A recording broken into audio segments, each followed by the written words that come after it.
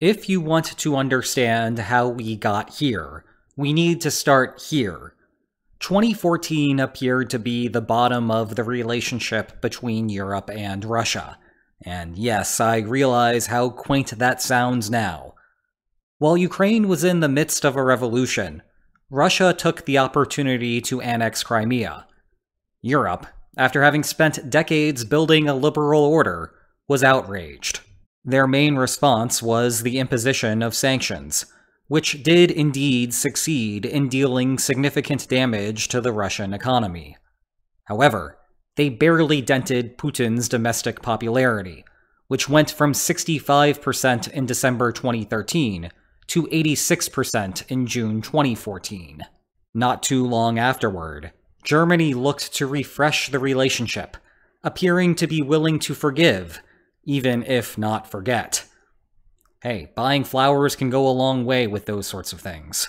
The Nord Stream 1 pipeline had long been delivering cheap gas to Germany. Planning for a Nord Stream 2 began in 2011, but the annexation of Crimea put it on pause. By 2018, though, the pipeline in the Baltic Sea was full steam ahead, with construction beginning at Germany's terminal. Critics wasted no time laying a verbal smackdown, most prominently from US President Donald Trump. The biggest skeptics compared the New Deal to a more infamous pact between Nazi Germany and the Soviet Union. But German Chancellor Angela Merkel was undeterred. This was the modern day version of Ostpolitik, West Germany's successful re engagement with Eastern Europe under Willy Brandt, which earned him a Nobel Peace Prize. The real reason Washington was upset was because Germany was not installing liquid natural gas terminals, which could open the markets to US exports. And yes, Germany was going to make a lot of money in the process. But the continued relationship with Russia would give Moscow a stake in good European relations. Putin would have to think twice before pulling another Crimea, if it meant that all of Russia's investment in Nord Stream would go up in smoke. Germany would have the leverage to force Putin to sit down in peace talks with his neighbors, to find acceptable solutions to ongoing conflicts. Everything would be fine. Fast forward to February 24, 2022. Russia invaded Ukraine, and the whole theory aged like milk. In the intervening year, it has become fashionable to look at old videos like this, view the glass as half empty, and conclude that the policy was ridiculous. But Germany's missteps were more subtle. As such, in this video, we will examine the history of economic interdependence, why it is a broadly sensible policy recommendation, but how it can fail in some circumstances. Oh, and uh, buckle up, because there are going to be some lines on maps. Or at least there will be a lines on maps like substance. And if you stick around to the very end, I promise that we'll talk about Zelensky visiting a McDonald's. But we start with the money. Economic interdependence is one of the oldest theories in international relations. It dates back to Immanuel Kant's publication of Perpetual Peace. If you don't know how long ago that was, that's fine. The images say it all. The basic idea is that states that trade together stay together. This is straightforward if each has something the other can't make. Say, Russian borscht for customers in Germany and German sausage customers in Russia. You trade, and everybody wins. If the countries suddenly have a diplomatic fallout, you will have a lot of beet soup fans marching in the streets of Berlin, and a bunch of sausage fans marching in the streets of Moscow. Neither leader likes the sound of that, and so they have strong incentives to work out their differences at the bargaining table. More subtly, this logic still applies if the flow of goods is only going in one way. If Russia sells gas to Germany, Germany uses that gas to run its meat grinders. Those meat grinders produce sausage, and then Germany sells that sausage to other countries for a profit, then blowing up that relationship still causes a hit to both sides' bank accounts. And there would be no more sausage. How sad. We can be a little more precise with the logic to understand why trade broadly has a peace inducing effect. The logic is plain to see when you look at some lines on maps, though sadly, Germany and Russia do not share a border, and the last time that they did, things did not go so well anyway. And thus, instead, I'm going to have to illustrate this with arrows on a generic unidimensional policy space. Sound okay? Or maybe we'll just call it the Neoliberal Order Index, or just the Freedom Index. Germany wants to max it out. Russia doesn't. In the context of the current conflict, freedom could mean Ukrainian self-determination. Imagine that this red arrow represents the expected amount of Ukrainian self-determination that a conflict would produce. The space between this yellow arrow and the red arrow represents Germany's costs of conflict, weighed according to how much it cares about Ukraine. That includes how much Germany internalizes Ukraine's own preferences for self determination, as Kiev is going to be sidelined for the rest of this theoretical exercise. It is the same story for Russia on the other side, between the red and blue lines.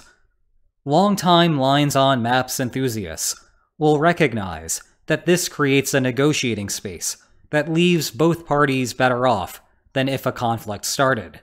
The lack of a border between Russia and Germany just means that we are dealing with a unidimensional policy space instead of territory, and an economic war instead of a kinetic one.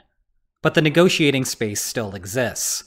The key to economic interdependence is that the set of solutions acceptable to both parties grows as the costs of conflict increase. See? This is the range now. Before, it was in here. The difference, as Kant can't wait to tell you, is the additional economic sacrifice. And indeed, this was the central idea behind Germany's plan. If you let Russia build Nord Stream, you can also shut down Nord Stream. All of those high profit margins that Russia earned per unit of sale suddenly disappear. Anticipating that, and not wanting to lose out on the money, Russia becomes more compliant. Mission accomplished. Mission accomplished? The problem with this line of thinking is that we were only looking at one half of the equation Russia's increased cost. But remember, the trade increases both parties' costs. That means Germany also becomes more compliant, if Russia could somehow control exactly which policy to propose, it can now convince Germany to accept a division all the way down here, which is a lower value on the Freedom Index than was possible before.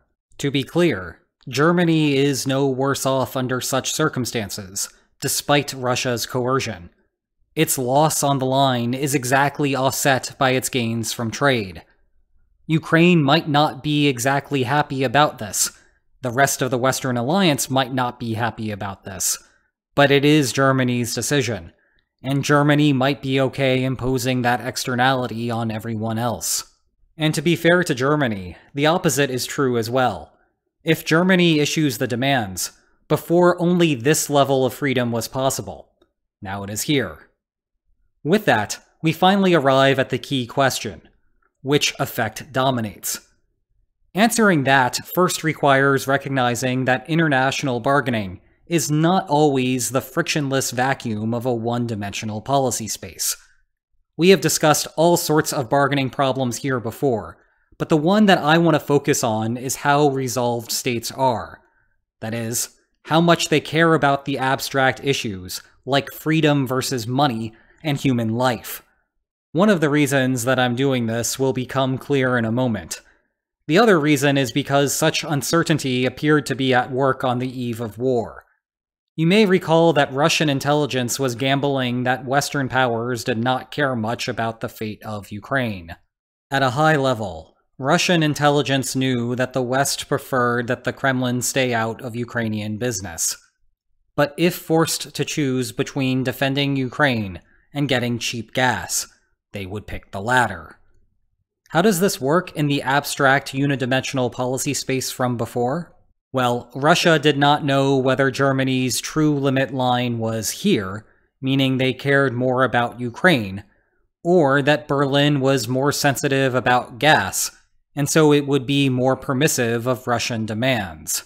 Given the two uncertain possibilities, Russia may have preferred to attempt to implement the more aggressive policy, even though Germany would have pushed back with sanctions if Berlin were truly resolved, and Russia could have achieved a better outcome by making a more conciliatory demand instead.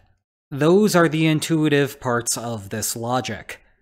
Many of you understood some of these basic principles before watching this video, either because you have watched similar videos before on this subject, or because you spend enough time at the poker table to appreciate risk-return trade-offs. But there are two less obvious pieces of the puzzle that jeopardized the success of Germany's integration policy. First, what determines whether Russia prefers trying to implement the risky policy or stick to the safe policy is the difference between the two possible limit lines.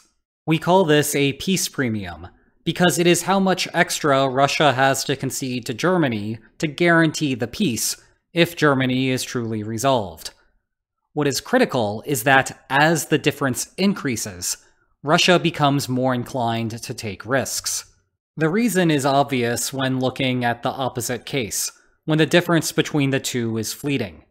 Is it worth trying to take this tiny sliver more when doing so risks a war? Except for under extreme circumstances, the answer is no.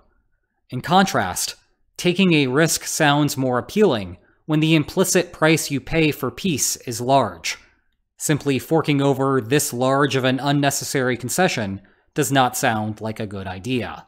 The second weird aspect of this is how larger economic costs of war interact with all of this. Back in 2019, a YouTube AI was still pretending to be a credible academic and answered that question. It turns out that we can't all just get along. Economic interdependence can be really bad for peace in this case. The Russian incentive to make aggressive demands outweighs its own higher cost. If the initial cost of conflict skews more toward Russia, and the new benefits of trade skew more toward Germany.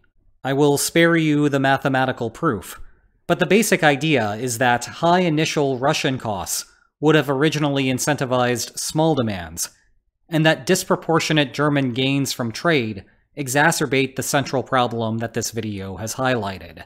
Are these two conditions true here? The jury is still out on that one. We are observing the effects of the lost trade now, with Germany building liquid natural gas terminals, and Russia finding other markets for its energy exports.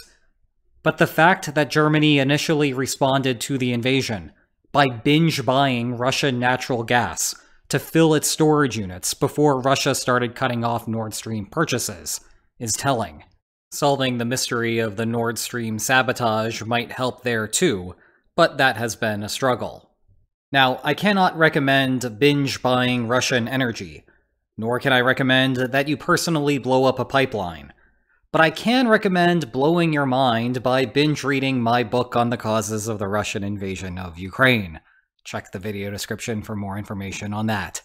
And if you enjoyed this video, please like, share, and subscribe, and I will see you next time. Take care. A couple of weeks ago, I had predictive text try to write a sign-off. Some of you posted yours in the comments. They were predictably silly, like this one that thinks I am a member of the National Association of Realtors, or this one about Zelensky being the first Russian president of Russia, or this one tying him to a McDonald's. That actually reminded me of a campaign film of Zelensky ordering from a drive-through. The person taking his order asked him if he wanted pie, and this was his genuine reaction, creating a bit of a meme in Ukrainian culture.